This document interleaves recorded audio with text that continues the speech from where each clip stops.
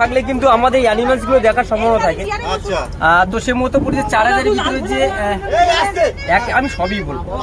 আপনারা যদি সবাই বলেন এক এক কোশ্চেন করে আমি উত্তর দেবো কারণ আপনার উত্তর দেওয়ার জন্য আমাকে ডিপার্টমেন্ট আমাদেরকে পাঠিয়ে প্লিজ প্লিজ এবার সে মতো পরিস্থিতি দেখবেন যে চার হাজার বর্গ কিলোমিটার যে উনিশশো হয় আপনার সতেরোশো উনষাট সালে এটা যখন একটা সুন্দরবনের মানচিত্র তৈরি করা হয় তার পরে সতেরোশো তিরাশি সালে এটাকে ডাম্পিয়ার হজেজ নামে দুজন জরিপবিদ এই সুন্দরবনে মেপেছিলেন মাপার ফলে এটা কিন্তু একটা তখন বলেছিলেন চার হাজার বর্গ কিলোমিটার আমাদের ইন্ডিয়াতে। সে মতো পরিস্থিতিতে এখন চার হাজার টাকা বর্তমান যেভাবে ভাঙতে ভাঙতে চলে গেছে, তো চার হাজার টাকা খুবই কম হয়ে গেছে। সেখান থেকে কিন্তু আমাদের আর কোনো মাপাই হয়নি। সেই মাপ অনুযায়ী আমাদের বলতে হয় চার হাজার বর্গ কিলোমিটার, কিন্তু বর্তমান ভেঙে ভেঙে খুব কম হয়ে গেছে। না, সে মতো পরিস্থিতি। এবার একটু বলি যে দেখবেন যে যে জঙ্গলটা আমরা দেখতে পাচ্ছি, এই জঙ্গলটার নাম হচ্ছে মরিচঝাবি জঙ্গল। মরিচঝাবি জঙ্গল, যেটা আপনারা কম বেশি করে জানেন যে মরিচঝাবি জঙ্গলের ইতিহাস। তবু একটু আপনাদের সঙ্গে বলি উনিশশো সাতাত্তর সাল থেকে আটাত্তর সাল নাগাদ বামফ্রন্ট সরকার যখন প্রথম ক্ষমতায় আসে, তখন মুখ্যমন্ত্রী ছিলেন জ্যোতি বসু আর প্রধানমন্ত্রী খুব সম্ভবত মুরাজি দেশাই কিংবা ইন্দিরা গান্ধী হতে পারে, আমি এটা সঠিক বলতে পারছি না। তো যে যেরকম বলে যে কেউ বলে মুরাজি দেশাই, কেউ বলে আবার ইন্দিরা গান্ধী। তো তখন কিন্তু এখানে বাংলাদেশে কিছু রিফিউজিরা এসে এই জঙ্গলটা বসবাস শুরু করে। এই বসবাস শুরু করার পর এখানে কিন্তু একটা মানুষের লোকালয় তৈরি করে ফেলে। তারা স্কুল থেকে শুরু করে নিয়ে রুটির কারখানার থেকে শুরু করে নিয়ে সমস্ত সব কিছু বানিয়ে ফেলে। এবং সেটা দ্বিতীয় কলকাতা বললেও ভুল হতো না, যদি তাদেরকে থাকতে দিত। এবার তাদেরকে, ওদেরকে যখন বলা হলো, আপনারা এখান থেকে চলে যান, তখন কিন্তু কি করল, ওদের এখান থেকে কেউ একটা ভরা সংসার পেতে ফেলেছে। হঠাৎ কাউকে যদি বলা হয়, আপনারা এখান থেকে চলে যান। যেতে চাইবে না, কেউ যেতে চাইবে না। তখন কি করল আমাদের ডিপার্টমেন্ট যেহেতু জঙ্গলটাকে আমাদের বাঁচানো প্রয়োজন। কারণ জঙ্গল না থাকলে দেখবেন যে আপনি বলুন, আমরা বলে কেউ বাঁচতাম না। যে প্রাকৃতিক দুর্যোগগুলো আমাদের দিকে যেভাবে ধেয়ে আসছে, সেটা কিন্তু ফার্স্ট অ্যাটাক করছেন সুন্দরবনের উপরে। এবার সেই স্বার্থে কিন্তু আমাদের ডিপার্টমেন্ট কি করল? ওদেরকে একটা ওয়ার্নিং দিয়ে দিল যে আপনি এখান থেকে উঠে চলে যান। তো সেখান থেকে উঠতে রাজি হচ্ছিল না। এবার ওদের সঙ্গে কি হলো? এক সপ্তাহ ধরে যুদ্ধ বিনিময় হলো। আমাদের গ্রাম থেকে যে খেয়া পাড়া ওদের সব বন্ধ করে দিল। খেয়া বন্ধ করে দেওয়ার পর যখন খেতে পাচ্ছে না তখন এখানে যদু পালং বলে একটা পালং শাক তারা সেটা সেদ্ধ করে খেত। নারকেল গাছ বসানো ছিল সেই নারকেল গাছে মাটি ভেঙে ভেঙে খেত। যখন তারা খিদের জ্বালা যখন অসুস্থ হয়ে পড়ছে প্রচুর মানুষ মারা যাচ্ছে তখন কি করল? ওরা আস্তে বর্ষতা স্বীকার করল। কিন্তু যখন বর্ষতা স্বীকার করে আগে ওদের সঙ্গে একটা খণ্ড যুদ্ধ হয়। যুদ্ধটা কীরকম? আমাদের কাছে যেমন আমাদের ডিপার্টমেন্টে ছিল বন্দুক গুলি অন্যান্য ছিল। এবং সন্ধ্যের সময় ওদেরকে অ্যাটাক করতে হতো। কিন্তু ওদের কাছে সেটা ছিল না। ওদের কাছে ছিল চ্যাঙা। অর্থাৎ চ্যাঙা কথার অর্থ হচ্ছে যে আপনার যে গরান গাছগুলো দেখতে পাচ্ছেন, সেই গরান গাছের লাঠি আঘাত করে সেই গরান গাছের লাঠি আঘাত করে কেটে ছুঁড়ে মারতো। এবার সেটা যখন ঘুরতে ঘুরতে আপনার গায়ে কিংবা কোনো বোর্ডালের গায়ে কিংবা কোনো বোর্ডের গায়ে লাগলে সেটা ফুটে হয়ে যেত, জল ঢুকে যেত। এইভাবে কিন্তু আস্তে আস্তে এরকম বর্ষতে স্বীকার করে নিল। তখন কিন্তু কী করল? ওরা দণ্ড করে আর না মানে অন্য জায়গায় নির্বাসন দেওয়া। এই হচ্ছে মরিচঝাবি জঙ্গল ইতিহাস, যেটা আপনার গুগল সার্চ করে দেখতে পাবেন যে মরিচঝাবি জঙ্গল ইতিহাস বললেই সেই ইতিহাসটা দিয়ে দেবে। একটা পূর্ণ একটা বিরাট একটা ঘটনা। না, তাদের তাদেরকে দণ্ড করানো আন্দামানে অন্যান্য জায়গায় নির্বাচন দিয়েছে। এই হচ্ছে মরিচঝাবি জঙ্গল ইতিহাস। এবার একটু বলি সুন্দরবনের আহ, সুন্দরবন সম্বন্ধে। এবার দেখবেন যে সুন্দরবনে আমরা সবাই আসি যেটা বাঘ দেখতে। দেখবেন যে বাঘ দেখাটা সম্পূর্ণ ভাগ্যের উপর নির্ভর করে। কেউ কিন্তু বলতে পারে কোনো বোর্ডালা বলতে পারবে না কোনো বোর্ড মালিক বলতে পারবে না আমরাও বলতে পারি না কোনো ডিপার্টমেন্টের মানুষ বলতে পারবে না যে এখানটা আপনার বাঘ দেখাবো সম্পূর্ণ যদি আমাদের ভাগ্যে থাকে তাহলে আমরা নিশ্চয়ই বাঘ দেখতে পাবো। বাঘ দেখাটা সম্পূর্ণ ভাগ্যের উপর নির্ভর করছে। তো সে মতো পরিস্থিতিতে সুন্দরবনটা নাম হয়েছে কেন? আপনার যে জিজ্ঞাসা করে সুন্দরবনটা নাম হয়েছে কেন? দেখবেন যে আমাদের যারা সুন্দরবন বিশেষজ্ঞ যারা, তারা কিন্তু অনেকগুলো তথ্য দিয়েছে সেগুলো তথ্যটা কীরকম? কেউ বলছে সমুদ্রের কাছের যে বন, তার থেকে সুন্দরবনটা এসছে। কেউ বলছে সিঁদুরের রং, তার থেকে সুন্দরবনটা এসছে। আদি প্রাচীন যুগে যখন আদিবাসী সমাজ বাস করতো, তারা কি বলতো? এখানে চন্দ্র বাঁধে, তার থেকে সুন্দরবন এসছে।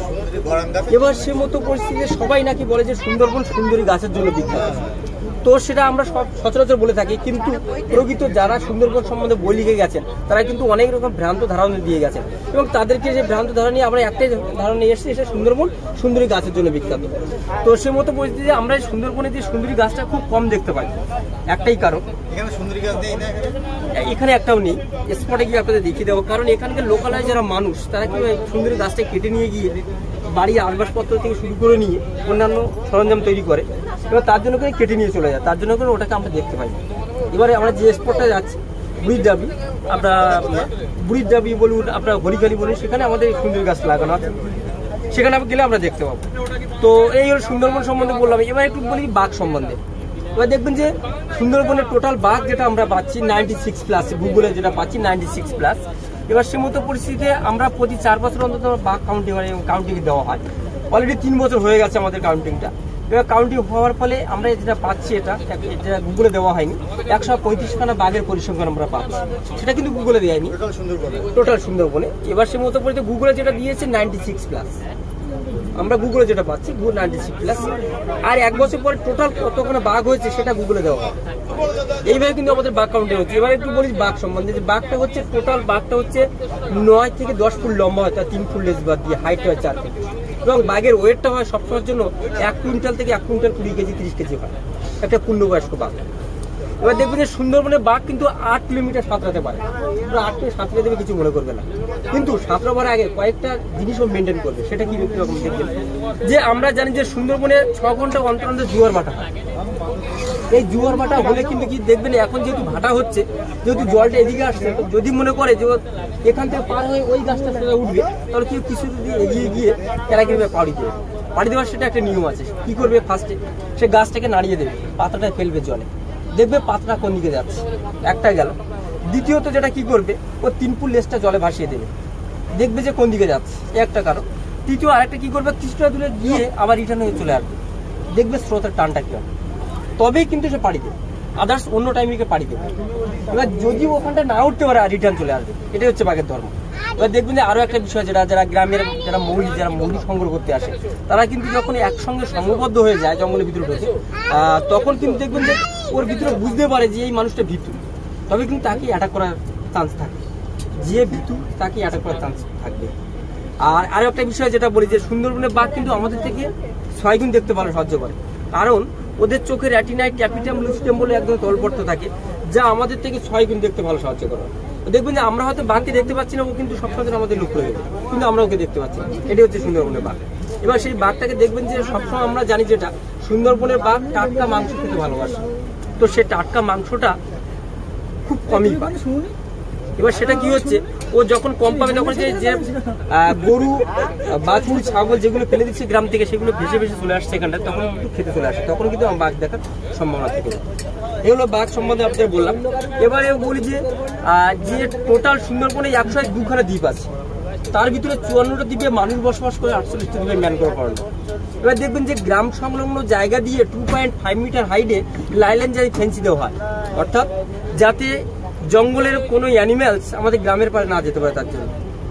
এবার তার জন্য কি এইরকম জারি ফ্যান্সি দেওয়া হয়েছে? টু পয়েন্ট ফাইভ মিটার হাইটে এখান থেকে কয়েক বছর আগে যখন ওটাকে ছিল না লাইনের ফেন্সি ছিল না, তখন কখনো কখনো আমাদের এই বাঘগুলো গ্রামের পাড়ে চলে যেত। গ্রামের মানুষ তাদেরকে মেরে দিত সেই বাঘগুলোকে মেরে দিত। যখন ওদের সঙ্গে একটা সুন্দরবন সম্বন্ধে তাদেরকে বোঝানো হলো যে সুন্দরবনে এই কাজে লাগে, এই ব্যাপার লাগবে, তখন কি করল? গ্রামের সহযোগিতায় যে এমসি নামে একটি কমিটি গঠন করা হলো। অর্থাৎ জয়েন্ট ফরেন ম্যানেজমেন্ট কমিটি, গ্রামের মানুষকে ডেকে নিয়ে সেখানে তাদের সুন্দরবন সম্বন্ধে বলা হলো। আপনাদের এই কাজে লাগবে, এই লাগবে- এবং তাদের কি আপনার যে অনলাইনে পারমিশন কেটে আসছে তার কিছু পয়সা গ্রামের মানুষের স্বার্থে দেওয়া। যেমন দেখুন, ফরেস্ট ডিপার্টমেন্ট কী করে দিচ্ছে? যদি কোথাও যদি মনে হয় আপনার যে এখানে টিউবওয়েল প্রয়োজন, আমাদের ফরেস্ট ডিপার্টমেন্ট টিউবওয়েল বসিয়ে দিচ্ছে। যদি কখনো মনে হয় যে এই ব্যক্তিটা বাড়ি দেওয়া প্রয়োজন, ডিপার্টমেন্ট তাদেরকে বাড়ি দিচ্ছে এইভাবে কিন্তু একটা গ্রামের মানুষের সামঞ্জস্য রেখে সুন্দরবনটাকে টিকে রাখা সম্ভব হয়েছে। তা না হলে গ্রামের মানুষের যদি আমাদের সেই সম্পর্ক না থাকতো তাহলে কিন্তু আমরা সুন্দরবনটাকে টিকে রাখতে পারতাম এই হলো সুন্দরবন সম্বন্ধে আপনার বললাম। যদি কারও কোশ্চেন থাকে আমাকে বলবেন কারণ সুন্দরবনে আমি এসেছি। আপনারা এসছেন আমরাও এসেছি। এবার সে মতো পরিস্থিতি যতটা সম্ভব সুন্দরবন জানার আপনারা জানিয়ে দেবো। এবার জিজ্ঞাসা কোনো কোনো ব্যাপার নেই। নমস্কার। ধন্যবাদ। যদি কোনো অসুবিধা হয় আমাকে বলবেন আমি।